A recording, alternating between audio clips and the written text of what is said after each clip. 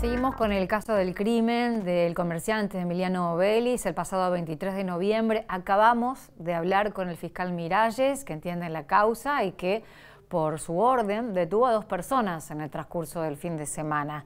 Eh, primero, en colaboración con unidades operativas de la ciudad, se procedió a la detención de un ciudadano de 22 años de edad en calle Dinkelden al 3200, en la vía pública, y después eh, un allanamiento en una vivienda de calle Santa Rosa al 1100, en el barrio San Eduardo, donde se detuvo un ciudadano de 18 años de edad. Ambos están sindicados como supuestos autores del delito de homicidio en ocasión de robo agravado por el uso de arma ocurrido el pasado 23 de noviembre en el comercio de Juárez Herman 1100, en el local del río cuartense Emiliano Vélez, de 34 años, que resultó fatalmente herido. Resistió una operación en el Hospital San Antonio de Padua y ya la segunda no la resistió.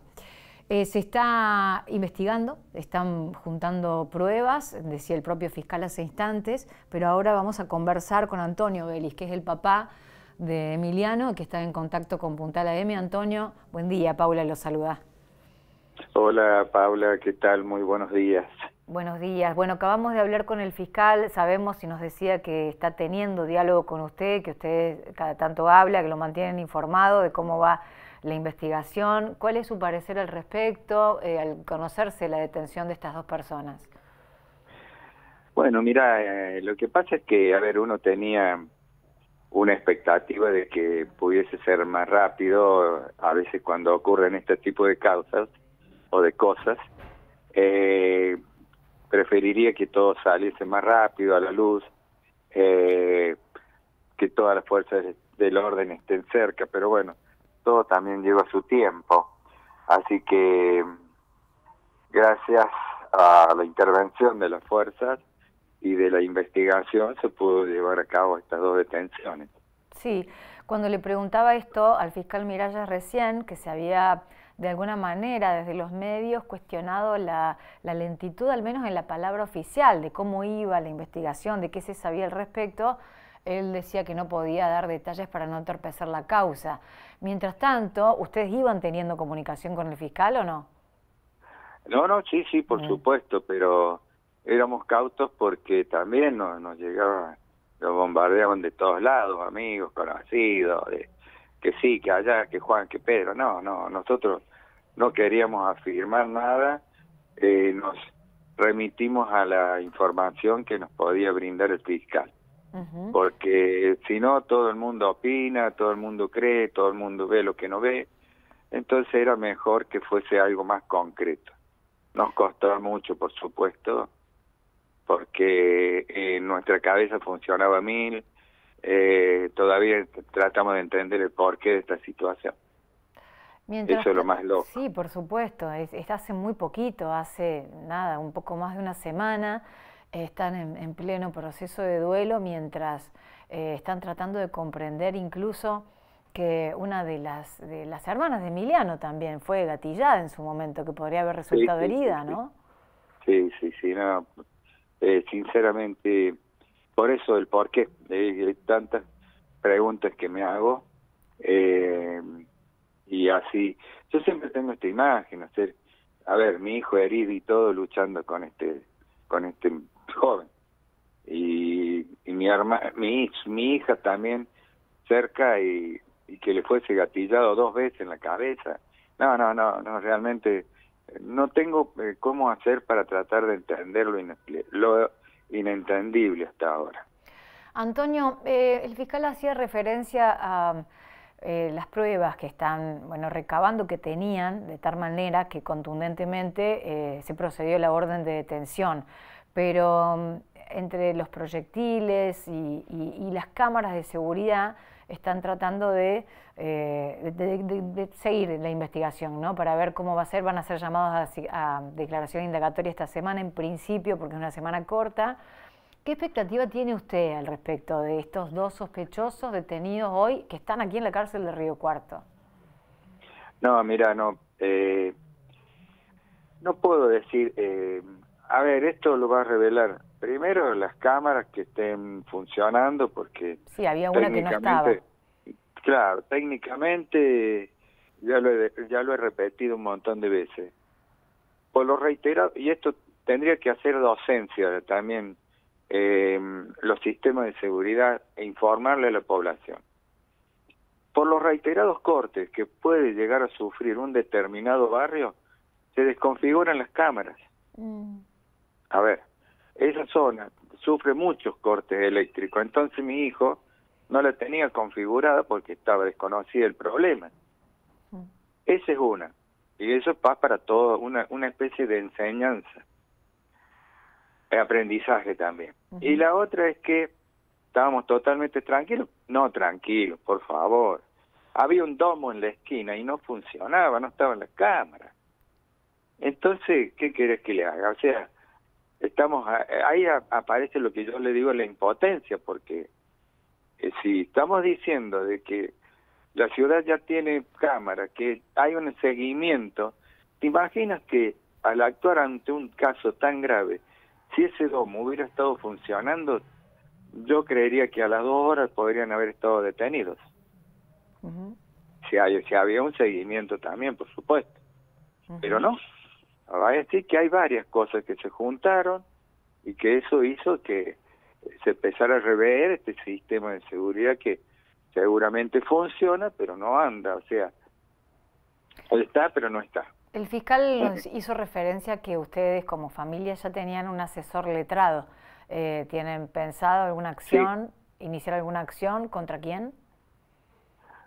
No, no, no, no, no. A ver, eh, este señor el, el abogado que nosotros tenemos, que es el señor Abrile, eh, es querellante en la causa, pero cómo funciona, bueno, ya nos va a empezar a explicar, ya nos van a empezar a poner em, en, comunica en contacto y en comunicación específica sobre la causa para, para empezar a caminar sobre ella. Yo jurídicamente no, no puedo explicar nada, no eh, sería eh, muy, a ver, sería equivocado de mi parte dar una opinión al respecto. Antonio, y usted ha manifestado... indudablemente. sin duda. No, no, eh, ustedes eh, habían manifestado sentir eh, un poco de, miedo al respecto por sus declaraciones, como que se están midiendo en lo que dice. ¿Y esto por qué es? ¿Usted piensa que fue una cuestión de casualidad o, que alguien lo había marcado a, Emiliano y, para ser agredido? No, eso no lo sabemos. No, mm. sinceramente no lo sabemos. Sí nos preocupa la hora. Quiere decir que ya no hay hora para el actor de la delincuencia. Porque fue a las seis de la tarde. Con chicos que a veces vienen del colegio, por, para darte una idea. Eh, chicos que van a comprar, a, iban a comprar al negocio de mi hijo, a comprar artículos escolares, por ejemplo. Eh, por eso ah, ya no hay horario. Eh, antes eh, normalmente era la, hora nocturna, el momento de los ilícitos. No, ahora no hay hora. A cualquier hora, a la madrugada, temprano, al mediodía. Entonces, esas, esas son las cuestiones que nosotros nos hacemos.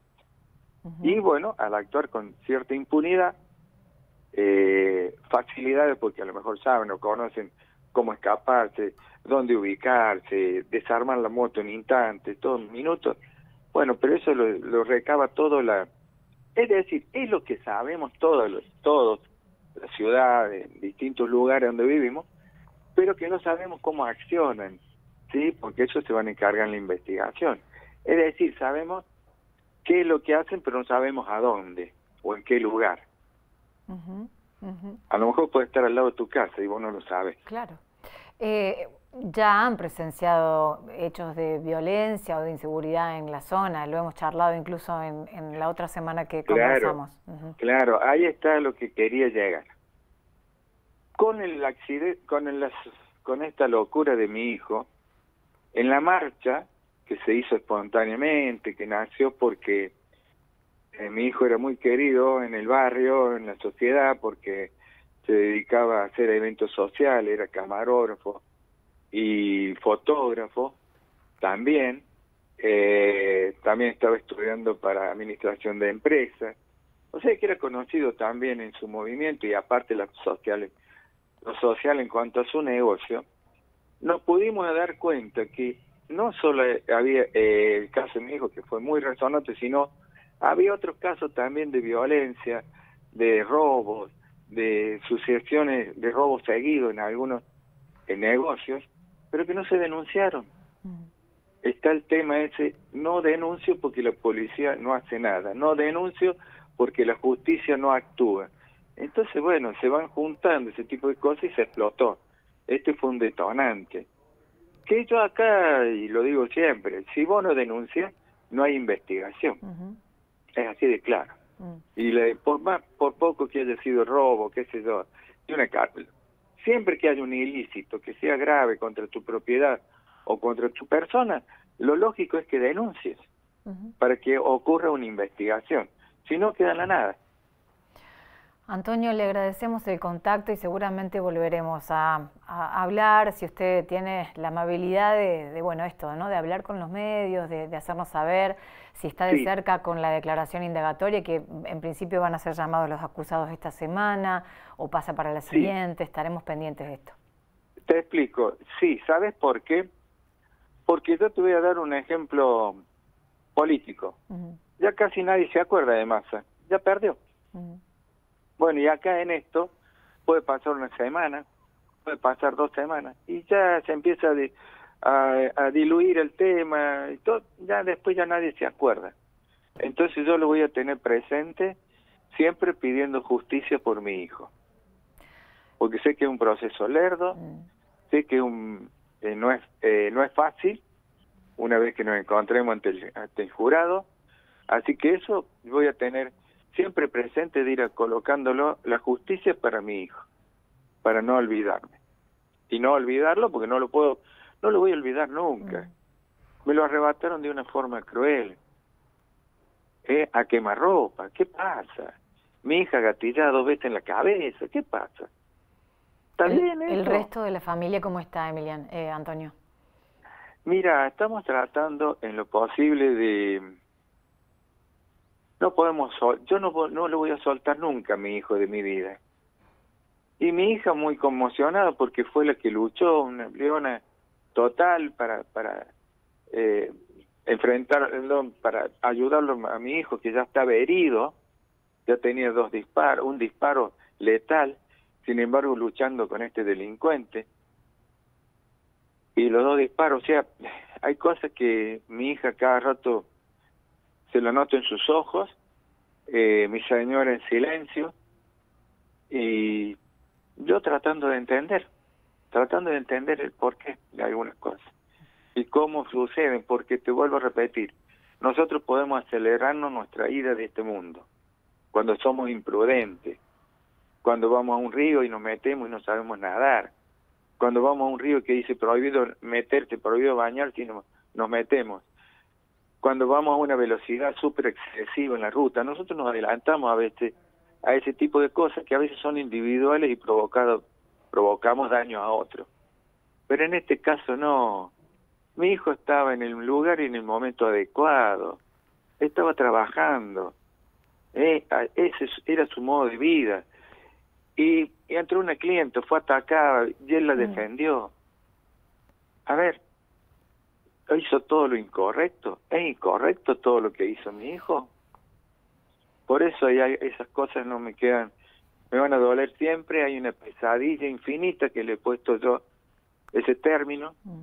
que es desde las seis y media de la tarde que fui al hospital hasta las dos de la mañana que me dijeron que se había ido de este mundo. Mm. Esa es mi pesadilla infinita. Esperar que abrieran la puerta de, de cirugía y me dijeran, está bien, se salvó. Mm. Y fue todo lo contrario, eso no me lo voy a poder olvidar nunca, jamás. Sin duda, sin duda, Antonio.